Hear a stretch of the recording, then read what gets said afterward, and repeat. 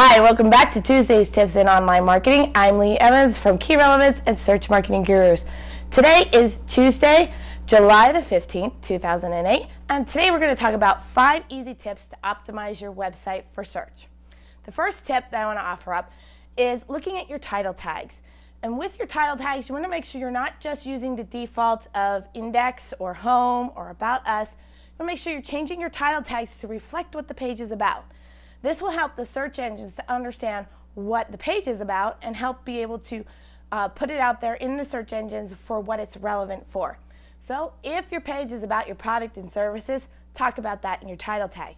If your page is about the press releases that you're putting out, make sure you're putting that in your title tag.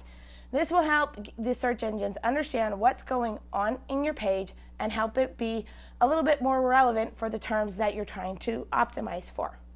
The next tip that we want to take a look at is writing a really good description for your website. The description is what appears underneath the title tag when it is listed in the search engines.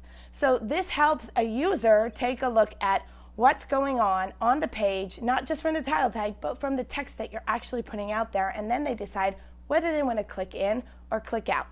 The description does not have any kind of weight with the search engines and their algorithms, but it does help the users who are using the search engines to gauge whether they want to click on what they're seeing in the search results or not. The next tip that we want to take a look at is your links on your page and the links, how you're naming them in your navigation, in the content of your page. These links and the way you name them help to give relevancy to the pages that you are linking to.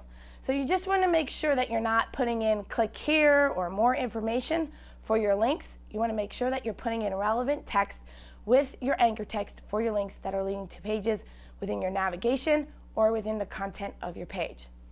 The fourth, eh, the fourth tip that we're going to take a look at is using images on your page. Images are really important. They help kind of break up content and they also appear in image search as well as in contextual search at the top or at the bottom, included in Google and Yahoo. Making sure that your images are named properly and making sure that you're using alt text with your images will help your images be associated with relevant searches. The last tip for today uh, in our online marketing tips for Tuesday is using header tags. Make sure that you aren't just using bold or underline. Make sure you're using an H1, an H2, an H3, and make sure you're putting in keywords within these header tags.